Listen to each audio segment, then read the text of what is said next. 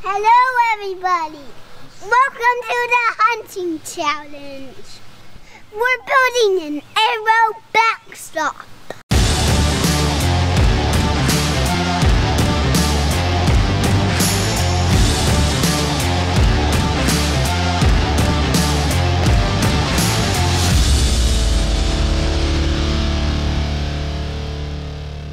Making it out of these 4x4s that my son Dawson is playing with.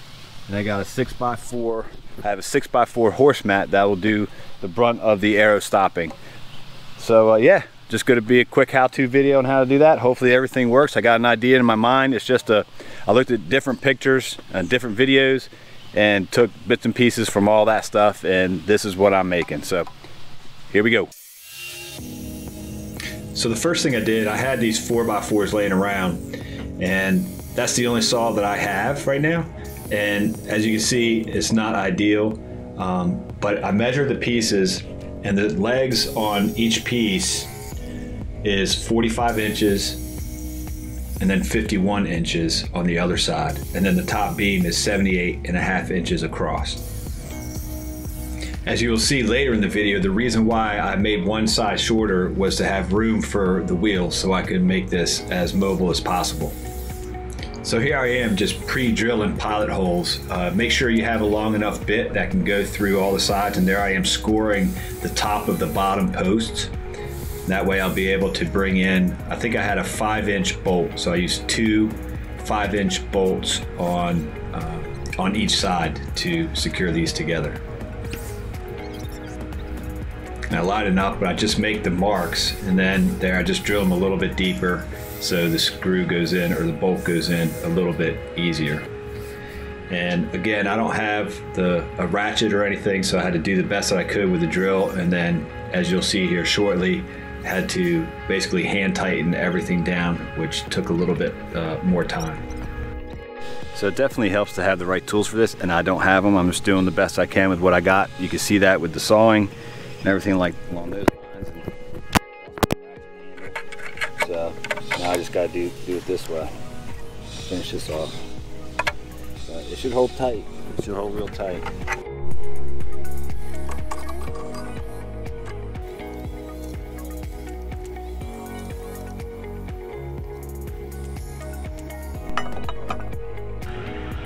Next I use the L brackets just for added support. I use those on the inside of the frame.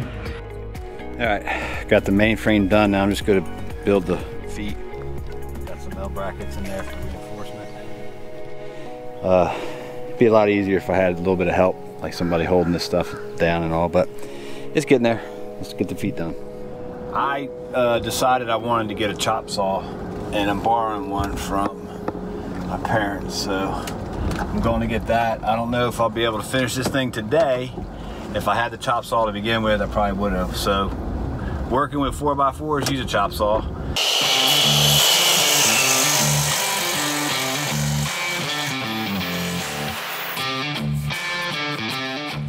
I definitely would have been able to finish this. Uh, this is actually a compound saw, uh, and I can tell you one thing that this is on my list to get uh, in the very near future. Makes life so much easier.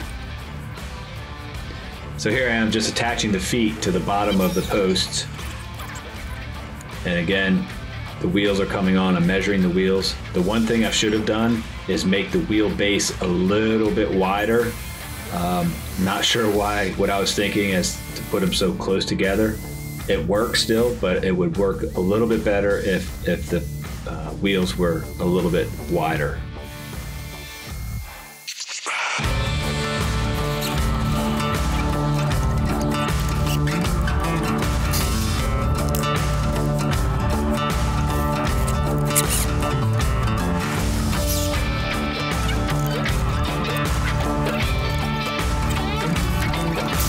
So if it's not level, that's because the ground's not level. but it'll work. It'll work just fine. All right, guys, so all I need to do now is just put the mat on. I'll, uh, I gotta go do some daddy duty stuff, so I'll be putting that on at another time right now. All right, it's mat day.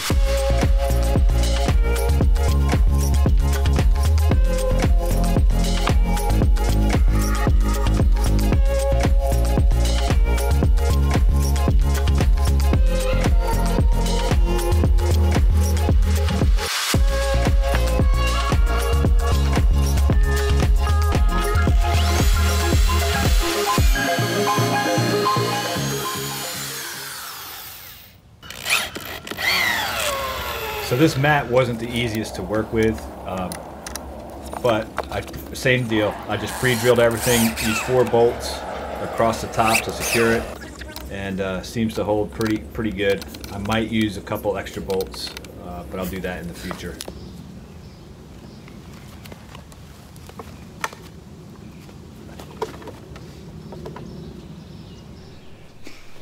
I think I think I'll make a couple more addition. Like put a couple more of these bolts in, maybe like one there and one there, just for more stability. But I mean, it ain't going nowhere. And I could either shoot it to this side or that side. Doesn't much matter, but I'm not gonna test this. I mean, I am shooting heavy arrows and all that. Um, but in this video I won't be testing it I am going to retune my bow um, paper tune it and all that but I'll give a I don't know I, I, mean I've seen videos where guys take a shot at it and the arrows get stuck in it which is good. Uh, but I don't know what you know what what uh, how heavy their arrows are or anything. So I'm curious to see what it does with the heavier arrows.